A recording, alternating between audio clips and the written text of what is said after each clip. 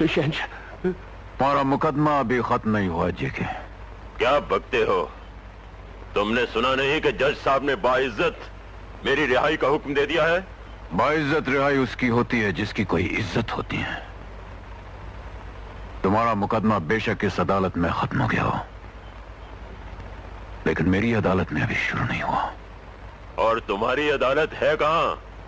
सदर हरजा के नशीनस्त सदरस्त। शहनशाह जहाँ खड़े हो जाते हैं, वहीं दरबार लग जाते हैं।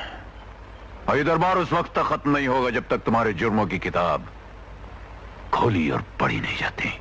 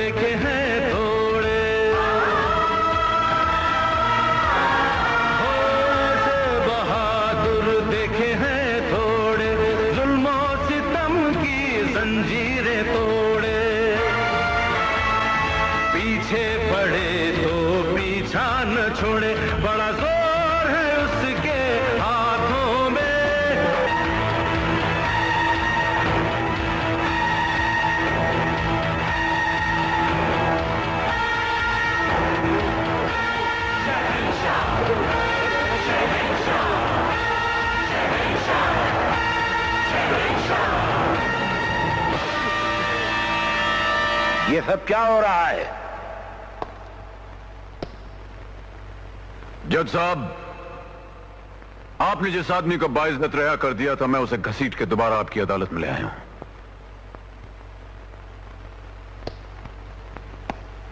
आपने इस आदमी को कत्ल के इल्ज़ाम में आज़ाद कर दिया है। लेकिन मैं आपको साबित कर दूँगा कि कानून की किताब में कोई ऐसा जुर्म नहीं जो इसने ना किया हो। या अपने दोस्तों से ना करवाया हो। Murder rape bank dacoity land grab interference in government affairs and corrupting high officials कौन हो तुम रिश्ते में तो हम इसके बाप होते हैं नाम है शहनशाह पेशे में हम भी आप ही की तरह एक जज हैं जो अपने कानून खुद बनाता है अपने मुजरिम खुद पकड़ता है उनके मुकदमे खुद सुनता है और फैसले भी खुद ही सुनाता है। I object your honour this is contempt of court ये अदालत की बेइज्जती है। मैं जानता हूँ कि अदालत की बेइज्जती है। मैं ये भी जानता हूँ कि इस आदमी ने अपनी बात कहने का तरीका गलत इख्तियार किया है। मगर इससे बड़ी किसी अदालत की और बेइज्जती क्या होगी जहाँ इंसाफ अधूरा रह जाए और सच्चाई की आवाज़ को दबा दिया जाए? मेरे ख्याल में इस आदमी की बात अगर न सुनी गई तो यह नाइंसाफी होगी। अदालत तुम्हें तोहीन अदालत की सजा देने से पहले अपनी ज़िम्मेदारी पर तुमको अपनी बात कहने की इजाज़त देती है।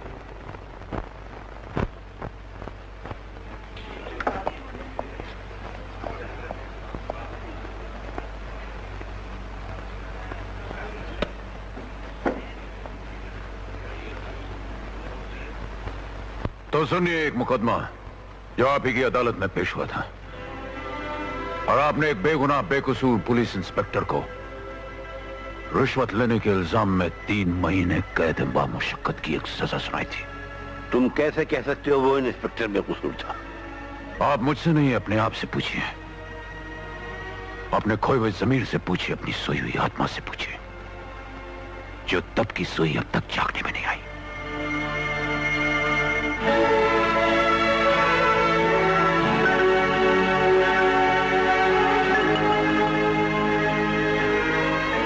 अब भी आपको याद ना आया हो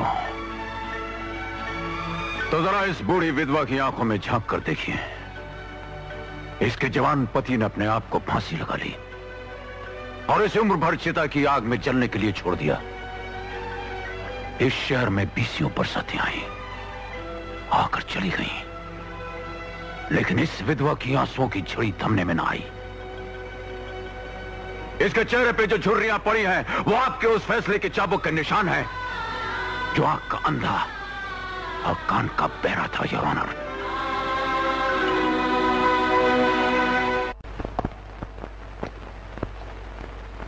आपके उस बहरे कान ने इस औरत का बयान भी नहीं सुना, जो आपसे यह कहना चाहती थी कि किस तरह जेके का हुक्म पे इसने वो दो बैग बदल दिए थे। एक बैग जिसमें बैंक डकैती का नक्शा और जेके की रिकॉर्ड की हुई गुफ्तगु थी जो उसके और बैंक मैनेजर माथुर के दरमियान हुई थी। कल ठीक दस बजे तुम्हारा बैंक खुलेगा जैसे रोज खुलता है और एन बारह बजे वहाँ एक डाका पड़ेगा। डाका? हाँ डाका। डाका डालने वाले बैंक का सारा रुपया ले जाएँगे। उन्हीं रुपयों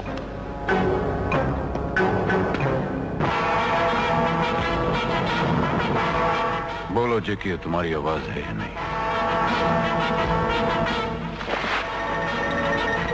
बोलो नहीं तो मैं तुम्हारी आवाज़ तुम्हारी छाती के अंदर हमें लिए दफन कर दूँगा। हाँ। मेरी आवाज़ है।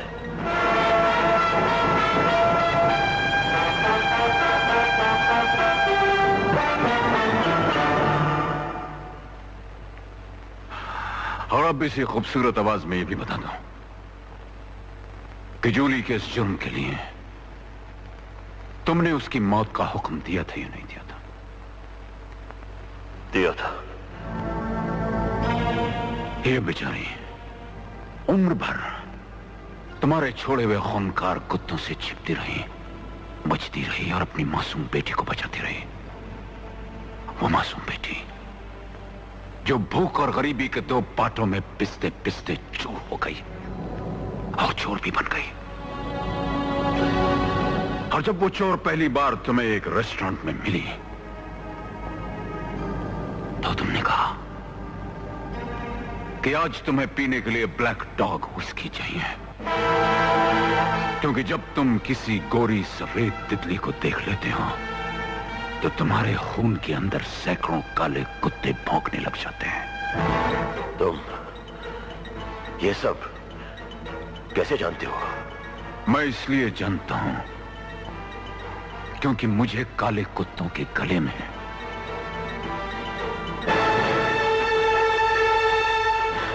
पट्टे डालने का फन मालूम है। आज हम तुम्हारे अंदर छिपे हुए हैं। तमाम काले कुत्ते बाहर निकालकर तुम्हारा गोश्त नोचने के लिए तुम ही पे छोड़ देंगे।